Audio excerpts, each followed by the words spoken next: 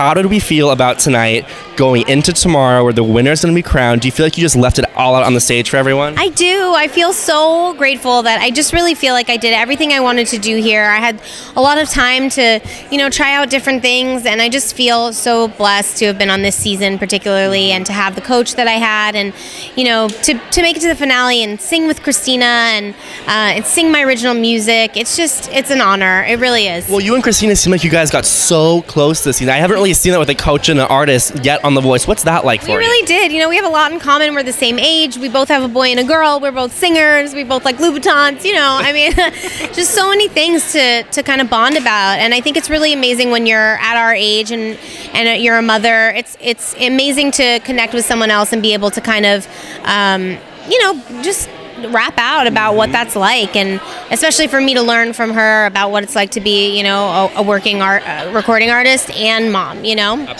absolutely. Yeah. Well, I hope to see you around Agora sometime when you like after you win this thing, you're on tour, doing your whole thing. I'll see you around there. Thank you I love so it. It was great. Been great to get to know thank you honey